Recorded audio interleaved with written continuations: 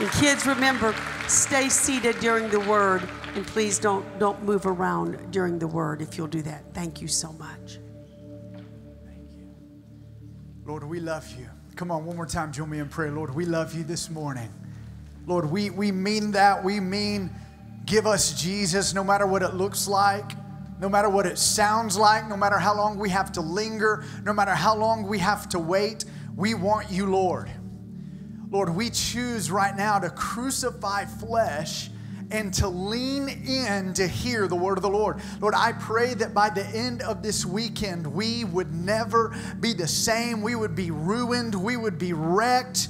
Lord, I pray that over every heart in this room, no matter the age, no matter how long they've been saved. Lord, I pray that by the end of this weekend, we would leave with a greater hunger and love for you in Jesus' name, everyone said, Amen. Amen. If you have your Bible, can you turn with me to John chapter number 2, starting in verse 13? John 2, verse 13. Come on, are you excited to be at Winter Ramp this year? I believe God has you here for a reason, He has you here for a purpose. And, and I encourage you, don't miss a moment don't miss a moment in worship. Don't miss a moment in prayer. Don't allow yourself to get distracted. Don't allow yourself to check your phone. Lean into everything God has for you this weekend. I'm going to start reading in verse 13. It's a very popular story. You, have probably heard it before, but I feel the Lord is speaking something very clearly to us. It says this in verse 13 Now the Passover of the Jews was at hand, and Jesus went up to Jerusalem. And he found in the temple those who sold oxen and sheep and doves, and the money changers doing business. Everybody say, doing business. Verse 15 And when he had made a whip of cords, he drove them all out of the temple with the sheep and the oxen and poured out the changers' money and overturned the tables. And he said to those who sold doves, Take these things away.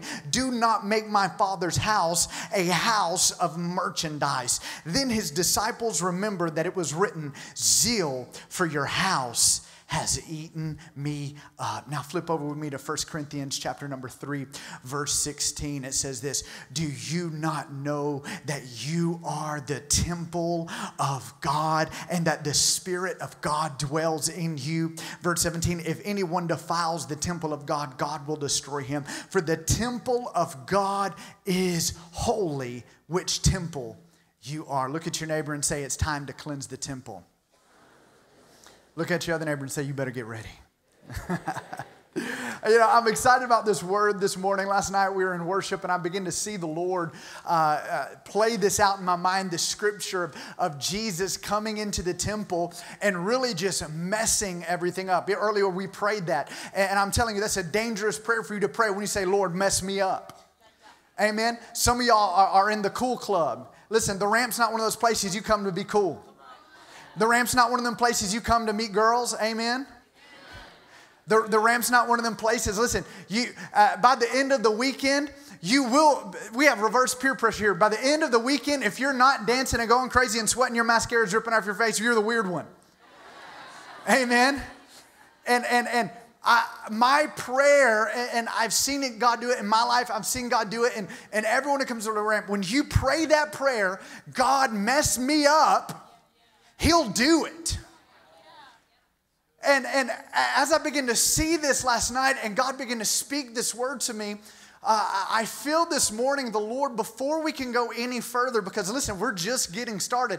We, we, haven't really, we're just now stepping into what God wants us to do. God has so much more for us. But before we can go any further, the capacity in which you receive of God has to be increased and it can't be increased if you are hosting illegitimate things in your heart. Things have to be cleansed out of your life and your heart before you can go any further in Him. And this story, I love it because uh, it's actually mentioned in a couple of other gospels as well, Matthew and in Mark. And in Mark 11, I love that version of it because the Bible says that Jesus and his disciples come to Jerusalem and it says that they go to the temple. And the Bible says they got to the temple and the hour was late and Jesus just looked around at everything. He walks into the temple, it's late at night, and he sees everything, and he gets his disciples, and they leave, and they go back to Bethany where they're gonna wait to come back into the next morning. What does that show me? Jesus walked into the temple, and he just let it fester. He walked into the temple and he saw that things were off and he saw that things were up. And, and he could have acted right there. He could have done something right there. But rather, he left and let what he saw just kind of fester in his heart. And he goes, and it's intentional that, that, that even John points out that he made a whip of cords. So he would have went back with his disciples and he probably would have been like, John, I need you to go find me a rope. And they probably learned with Jesus, don't question anything that he says. They're just like, just, just do it. I don't know. Go find me a rope. And, and while his other disciples were talking and they were probably going to sleep and trying, trying to get rest, Jesus was probably sitting to his side making a whip. And you've got to understand how confusing this must have been to the disciples as Jesus. Listen, I truly believe with all my heart, I, I, know it. The Bible says that the joy of the Lord is our strength. The Bible says in the presence of the Lord is fullness of joy. I truly believe Jesus, uh, when he walked the earth, was, was the happiest uh, thing to ever fill the earth. He still is happy. Amen. Jesus is full of joy. And in this moment, I'm sure they saw his demeanor. There was something on his mind as he was making a whip. And then the next morning, they, he, he probably woke them up early because how many of you know when something's on your mind, you got to do it fast? Especially when something's eh, annoying you. I mean, how many confrontational people do I got in the room? You know what I'm saying? Somebody annoys you, just like, hey, you, you annoy me. Amen. And so the next day, Jesus wakes his, up, his disciples up. They make their way to Jerusalem. And I just, I would love to see what would have happened when the disciples, disciples are happy. They're in the temple. They're, man, this is awesome. This is great. And Jesus, all of the sudden, pulls out a whip. And the disciples were like, probably like, Peter, what did you do? Who, what? You know, Peter probably like leaned back. He's like, bro, I know that whip's for me. Like, he pulls out a whip, and Jesus walks into the temple, begins to overturn tables, pulls out the whip, starts whipping animals. I'm sure he whipped a few humans too, just like whapa, and they're like, ugh. They're like, who are you? He's flipping. Coins are going everywhere. And it's chaos, and Jesus is the one at the center of the chaos. And that goes against everything our generation believes about Jesus. We believe Jesus is just this nice hippie with long hair and perfect white teeth who wears chacos, and he's just like, hey, do you mind not doing these things? Jesus didn't go in and ask for the manager. Excuse me, is there a customer service survey I can fill out? He didn't go in and say, guys, this is not have to be, but you know, I'll over. No, no, no.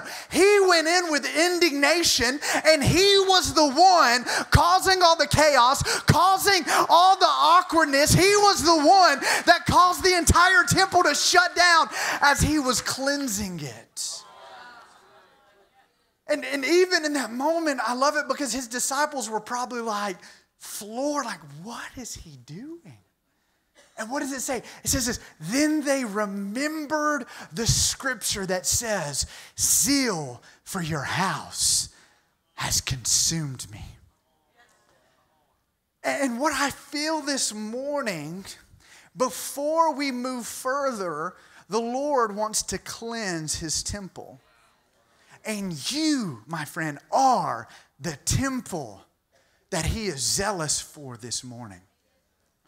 You see, uh, the, the, temple, even this place, uh, what, what, was happening was people were coming into the temple to worship, and in order for them to worship properly, they had to purchase animals for sacrifice. They had to even exchange their money for, for the money of the temple, which is the Tyrian shekel. They had to exchange their money in the temple, and, and what they were doing wasn't necessarily wrong. The problem was, get this, it wasn't necessarily wrong. The problem was they allowed what should have been going on outside to get in on the inside.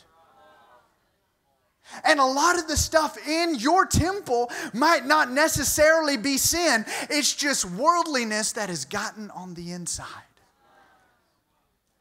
it's busyness, it's distraction to where the temple should be a place, as Jesus said, My temple shall be called a house of prayer for all nations. Rather, it being a place of prayer, it has become a place of business. What was meant to be holy isn't holy anymore. And, and I, I want to charge us this morning.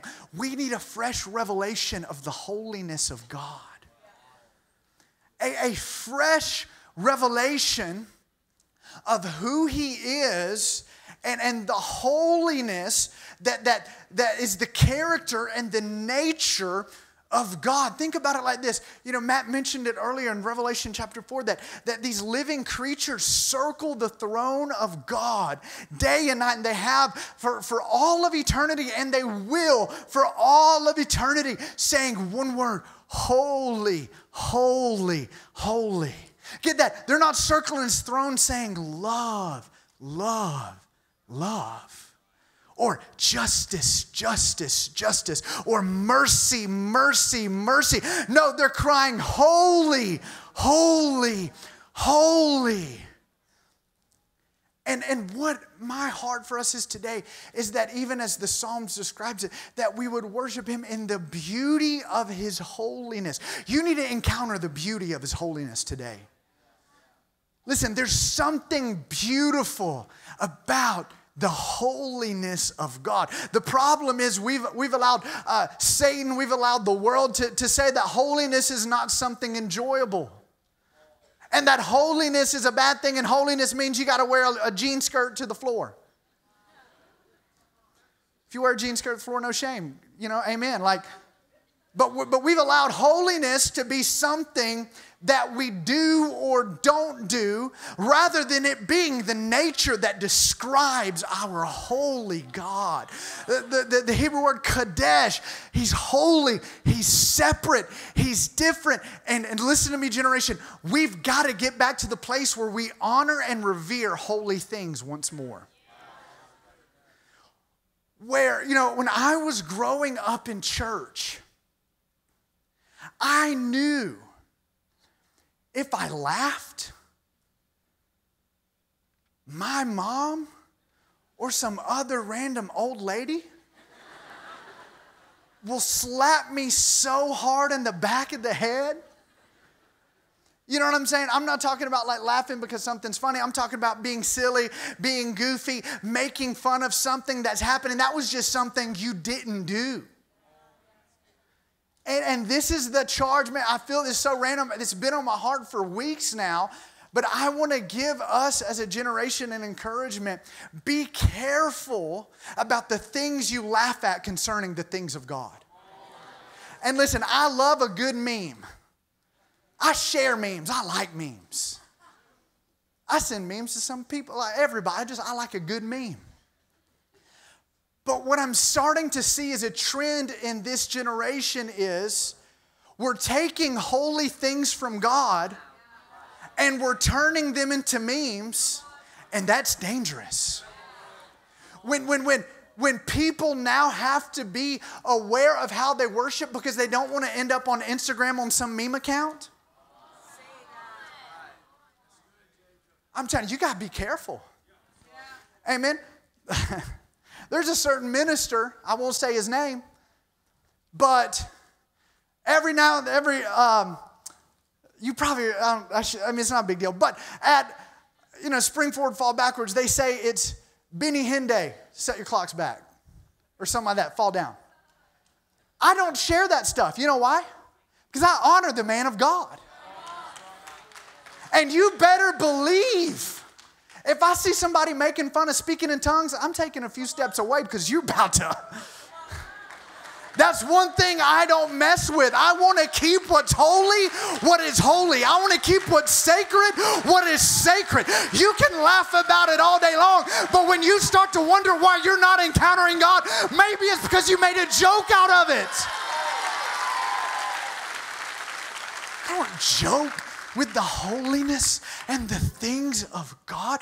We need the fear of the Lord. I truly believe the fear of the Lord and the holiness and reverence of God to be restored in our hearts once again. Jesus walked into the temple and something stirred in his heart enough to say, I can't leave things the way they are because the temple is not clean. I can't go into worship because there's too much noise that stands between me and the presence of God. And listen, what I'm afraid of is that we are getting to a place where, even like I mentioned earlier, it, it, a lot of times it's sin, sometimes it isn't. Sometimes we're just not in a place to honor God as who He is because of the noise and the chatter and all of the stuff going on on the inside. He is holy. My prayer for you is that you would encounter this weekend the beauty of His holiness. I'm telling you, there's a moment in worship where it's like everything else fades away. I'm t- I love it. There's, you know, oftentimes it's the glory, it's the presence, it's the Shekinah, it's the holiness of God. When all of a sudden you just become so aware of His presence, you just have to like get low to the ground you have to humble yourself because of the holiness of God that fills the room. But I want to tell you, listen to this the holiness of God that fills this room, God doesn't just want to fill a building, He wants to fill you. There used to be a song that said, Here, O Lord, have I prepared a resting place. Long have I desired for you to dwell. Here, O Lord, have I prepared for you a home. Can I, I want to ask you this morning, can God, the presence of the holy living God, dwell on the inside of you? What are you hosting in your life that is keeping you from hosting the presence and the glory of God. 1 Corinthians 3 says that so clearly. Do you not know your body is a temple of the Holy Spirit? Think about that. Your body, who you are, the thoughts that we think, what we entertain ourselves with, we are the temple of the Holy Spirit. And, I, and listen, my prayer, I've, I've been feeling this so strongly. My prayer is that I believe that before this weekend's over, if you've never been baptized in the Holy Ghost, you're going to get baptized in the Holy Ghost. You're going to be filled with the Spirit of the living God. Because I'm telling you, when you get filled with the Spirit of God, everything changes. Everything changes. It's, it's impossible to go back to who you used to be once you get filled with the Holy Ghost. You're ruined for everything else. Why? Because you have tasted of that heavenly gift. You've tasted of that holiness that fills your heart. And here's the beautiful thing. Uh, even scripture in 1 Peter 1:13, it gives us the charge. Peter gives us the charge, and this is literally the Lord saying, You shall be holy, even as I am holy. That, that's Yahweh. That's the creator of the heaven and the earth, the one who angels circle his throne day in and day out and cry, Holy, holy, holy. He's giving us a charge and he's saying, You will be holy even as I am holy. Rebecca will be holy even as I am holy. John will be holy even as I am holy. He's giving you that charge and he's giving us an invitation into his holiness that He desires us to be transformed into the likeness of his image. I'm telling you, his holiness is an amazing thing. Holiness in our lives is not something to be dreaded, holiness in our lives is something to be pursued. That, that word holiness is sacred, it's kadesh, it's separate, it's different. It, it means there's none like him, there's none beside him. And as God transforms us into his image, and we begin to walk in that same holiness and same righteousness. You might hear yourself, well, what does it mean to be the temple? Listen, the temple is a place that is dedicated to hosting the presence of God. The temple is a place that is dedicated to hosting the presence of God. And we sang this earlier Give me Jesus. Give me Jesus. Uh, there, there's one thing I desire, there's one thing I seek. And I want to ask you this morning do you mean it? Do you mean it? Do you want Him above all else? Is there a cry on the inside of you that you've had enough with the ways of the world? You've had enough with the things of the world? You've tasted the pleasures of this age and you've come to a place to say, That will never satisfy me. I have to have Him. I don't care what it looks like. I don't care what I got to clean out. I've got to have more of Him. Do you want Him this morning? It's a place dedicated to host the presence of Jesus. And listen, as we read this earlier, Jesus came in and began to overturn tables. He began to drive the money changers out. He began to push everything out. And he said, This zeal for your house has consumed me. And I want to read you the scripture from Second Corinthians 7, verse 10. I love it because what this does is it perfectly represents, I believe, what happens when zeal for his house fills your heart and you gain zeal for his house. Amen?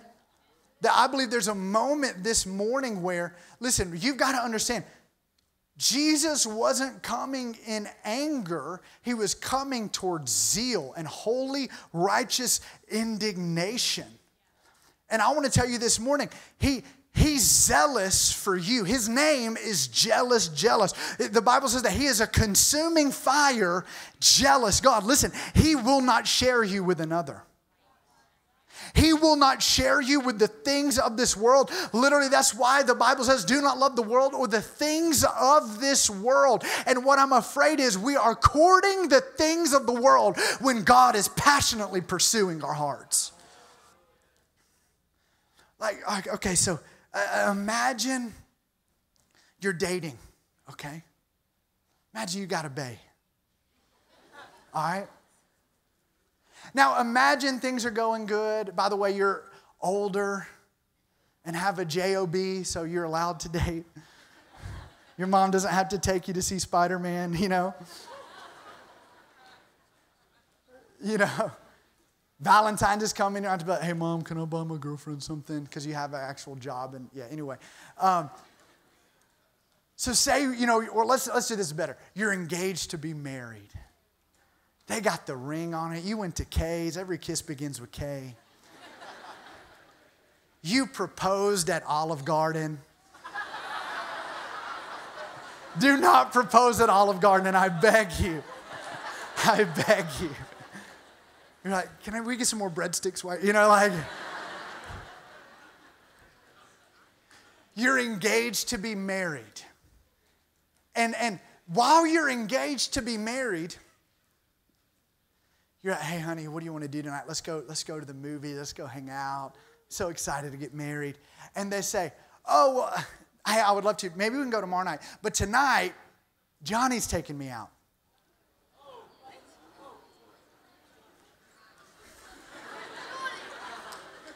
Yeah, you know, like Johnny's taking me, it's, it's, you know, we're, we're, you know, we like each other, but I'm engaged to you. I love you, but but I really like Johnny as well. So maybe we can work out a deal.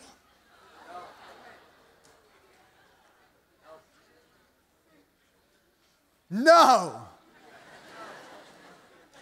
But how oftentimes in our own hearts, do we sing of the love of God and we sing of our affection towards Him, but in reality, we're courting other lovers. We're, we're searching the world for other things when in reality, we have been betrothed to Him. So, so listen, this is, I love this picture of repentance, okay? It's 2 Corinthians 7, verse 10. For godly sorrow Godly sorrow, sorrow, sorrow, same thing. Godly sorrow produces repentance. Let me just say this right here stop shielding yourself from godly sorrow. We're a generation that says good vibes only and I just want to protect myself. And you know, and if you start feeling good and convicted, you'll leave because you got to take care of your no. You got to take care of me and I just it's uh, not good for me right. No, no, no, no. Godly sorrow. I'm not talking about shame. I'm not talking about condemnation. I'm not talking about that. I'm talking about when the love of God highlights something in your life you need to repent of. Godly sorrow produces repentance, leading to salvation. Not to be regretted, but the sorrow of the world. This is it. The sorrow of the world produces death. The sorrow of the world is shame and guilt and heaviness and legalism. No, no, no. That's not what we're talking about. We're talking about godly sorrow. The sorrow that's on the inside of you that says, Whatever is separating me from you, Lord, I give it to you. Verse 11, for observe this very thing that you sorrowed in a godly manner. I love this. What diligence it produced in you. What clearing of yourselves. What indignation. What fear. What vehement desire, what zeal, what vindication. In all things, you proved yourself to be clear in this matter. Listen, that is the fruit of repentance. John the Baptist said, Bear therefore fruits worthy of repentance. And listen, there, there's a time in your life where repentance is more than going to an altar, kneeling for 30 seconds, getting up, and going back to who you used to be. No, repentance is going and producing the fruits of repentance. with zeal, what clearing of yourselves. I want to ask you, what things in your life is the zeal of the Lord stirred up against? What vindication, what zeal has continued. I'm telling you, on this walk with God, conviction is a blessing. For even Hebrews would say, For if you are not convicted, if you're not chastened, chastised, you are an illegitimate son. The proof that I am a child of God is the conviction in my life. And I know it hurts and it doesn't feel fun. We've all been there when you're like, oh, I just sinned. Amen. Some of you are like, my, my, my goodness, I've never done that before. No, you know exactly what I'm talking about. You do something and you're just like. I'm telling you, that is the blessing of the Lord. And you better, I'm t- when you stop feeling that, that's when it gets dangerous. But listen, I believe even if you stopped feeling that, the Holy Spirit is here, here to soften the hardest heart. On this walk with the Lord, listen, some of you are starting it this weekend. Some of you have been doing it for a while. You will be convicted a lot.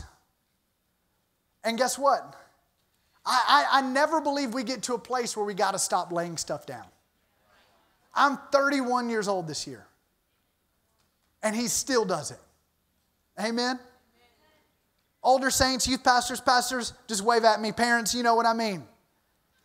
Like, and I'm telling you, and it's the journey of the Lord because I know that whenever He highlights something in my life, whenever there's a table in my temple that needs to be overturned, whenever there's something unclean in my life, the Holy Spirit touches. I know it is an invitation to grow in my walk with the Lord. So I want to carry the same zeal that He carries to drive it out of my heart. As I'm telling you, man, he, He's going to ask you to do stuff today. Today, this morning, you're not going to understand. And guess what? He is not obligated to give you a reason. Amen? Like, I remember driving down the road, I just got saved, and, you know, I'm like living for the Lord, and, um, you know, and, and I, I, had this Hillsong uh, CD that I stole off the internet, and the Lord convicted me about that later, not that moment. Anyway, um, that's back when you used to be able to go online and just steal stuff. Amen. And I don't condone that. Do not download LimeWire on your computer, it'll destroy your computer. And I had this other CD though that was like my like I had some like rap music on there, you know what I'm saying? Like some OutKast, you know. Y'all don't know nothing about. I had these random, like random, just a mix CD that I had with just random artists and random albums that I would put in. And I remember I was driving on the roads, had my windows down, I put it in, I was starting to jam. I was like, yeah, come on. You know, like I'm rapping along to the lyrics, and I hear Holy Spirit so clear. It's one of the first things he ever asked me to do. He just literally said, throw it out the window. I'm driving down the road and I hear the Lord say, throw it out the window. I'm like, but Lord, is there a trash can? No, throw it out the window. So I grabbed that thing like a disc and just, I mean, I, I, I threw it in oncoming traffic. It zipped off into the woods like, but listen, there's going to be things in your life you don't even know about. You think that they're okay. It's not a big deal. Everybody does it. But listen, never get to the place where you resist God saying, Hey, I need this. Because sometimes it's not even bad stuff, it's just stuff that keeps you from Him. I remember a few years ago too. It's so funny I'm talking about music, but I was driving, I was traveling somewhere, and I'll just, you know, you get bored, and I start flipping through the radio stations, and this song comes on. I think by this guy named like Bruno Mars. I don't listen to him for I'm just I'm skipping through. I'm and then, but I like like the old like funky music, like you know Earth, Wind, and Fire, and I'm like, oh yeah. And it was a song called uh, 24 Karat Magic put your, put did it, boom, dun, dun, dun. And I was like, I was like jamming. And all of a sudden in the lyrics, I hear him say the name of Jesus. And I hear the Lord speak to me and say, You are never allowed to listen to the song again. And there's been times I've been driving down the road, flipping the radio, and it come on, I'll be like, Lord, this slaps. You know, like, and I hear the voice of the Lord say, I told you to do something a few years ago. I have not changed my mind. And what you'll find in this walk with the Lord, there will be things in your life He's gonna ask you to do that you're not going to understand. And, church, you don't need to understand it. You just need a heart of obedience that says, God, whatever's gonna grieve you, whatever's gonna push you away, I want to guard it. Why? Because I'm a temple of the Holy Spirit. And listen, as you walk in communion with God, and you walk with that sensitivity of the Holy Spirit, it is such a blessing for Him to be able to come close and prick those things in your heart and say, lay it down. Why? Because He's, he's giving you an invitation to host His presence. If you invited someone over to your house and something offended them, would you continue to do it? No, no, no.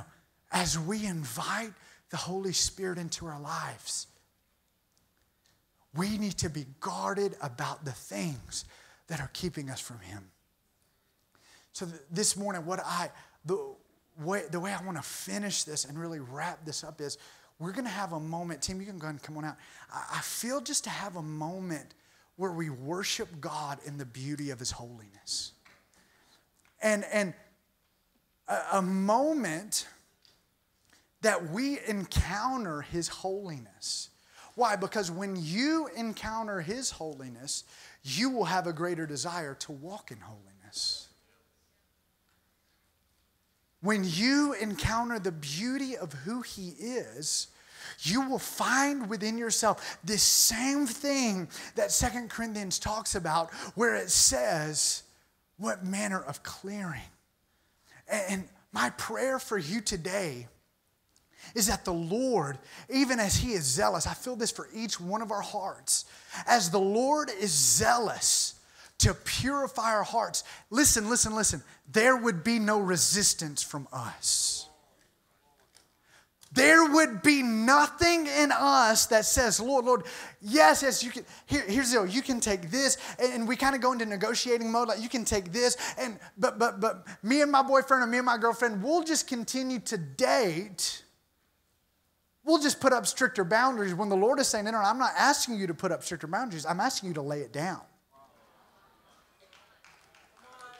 Or you're saying, no, no, no, Lord, Lord, I, I, know that I'm harboring this bitterness in my heart, but you don't know what they did to me. And he said, no, I'm not asking you. I know they hurt you. I know they broke your heart, but I'm asking you to let it go.